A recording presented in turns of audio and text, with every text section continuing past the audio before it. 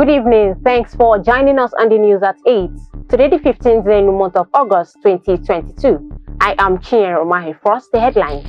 Senator Kalu takes project tour to Inato Leru as constituents pledge full support. Teenage girl who scored 8 A's in WAEC makes 351 in JAMB. Over Nnamdi Kanu's case, Aloy Ejimakor asks federal government to set aside proscription of IPOB. Release leader after court ruling. We'll take commercials and be right back with the details and many more. Stay connected.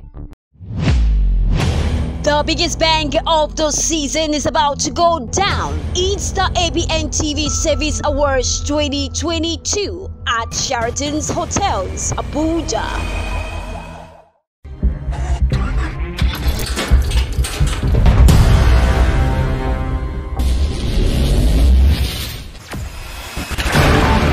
Experience the smooth and strong feeling that consistently surpasses expectation.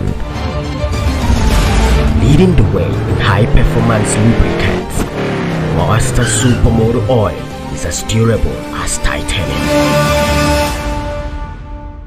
Welcome back. Now the details. The director of ABN TV and radio, a leading online news medium in Nigeria, Mr. Ifeanyi Okali, has congratulated the head station Flow FM Umuahia, Abia State, Mr. Samson Eze at the occasion of his birthday, describing him as a committed, hardworking young man. He noted with excitement that since he took over the position on the station, Mr. Eze has brought a lot of innovations and creativity to bear in repositioning the FM station as the envy of others. In continuation of his project's inspection tour, Senator representing Abia North Senatorial District of Abia State, Senator Orji Uzor Kalu, at the weekend visited Nato community where the people received him along with his entourage with excitement. Chief Whip of the Senate, Senator Orji Uzor Kalu, says the cattle market in Lokpanta, Umunneochi local government area of Abia State was set up to drive revenue for the development of the area. Kalu, who visited the community during his midterm ward-to-ward tour, explained that the area was supposed to get 5% of the revenue generated from the market for its development. A young Nigerian girl, Ogunjobi Moyoluwa Adekemi, has demonstrated an outstanding brilliance in her 2022 WAEC and UTME results.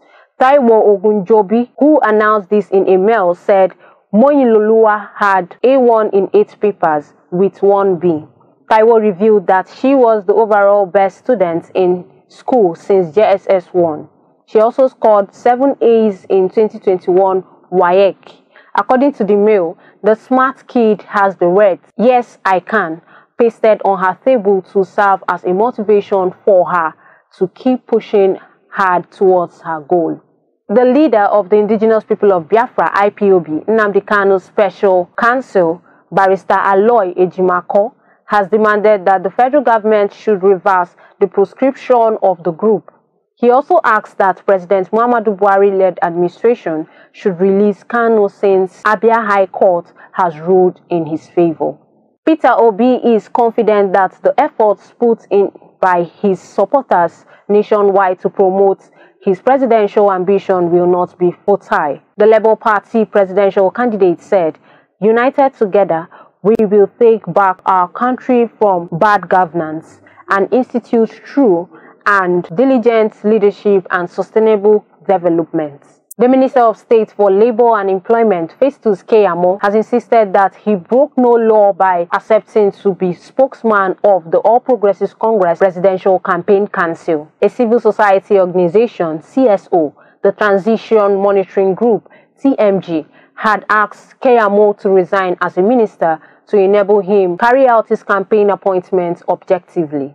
Senator Ali Ndume has said the Nigerian army is finding it difficult to solve security challenges in different parts of the country because it doesn't have the modern equipment required to fight terrorism. Ali Ndume disclosed this during an interview on Channels Television's Politics Today. And on foreign scene, Russian President Vladimir Putin congratulated his Indian counterparts Draupadi Murmu and Prime Minister Narendra Modi on the 75th anniversary of the Republic's independence, according to a message published on Monday on the Kremlin website.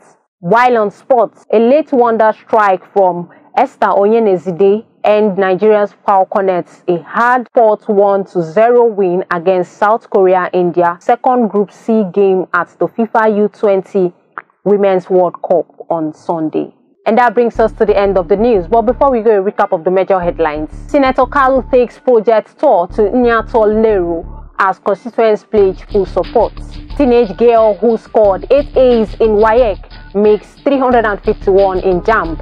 Over Nnamdi case, Aloy Ejimakor asks federal government to set aside proscription of IPOB and release leader after court ruling. For these and many more, log on to our website at www.abntv.com.ng or visit any of our social media platforms displayed on screen. Do have a lovely night rest. I am Chinyere Omahi.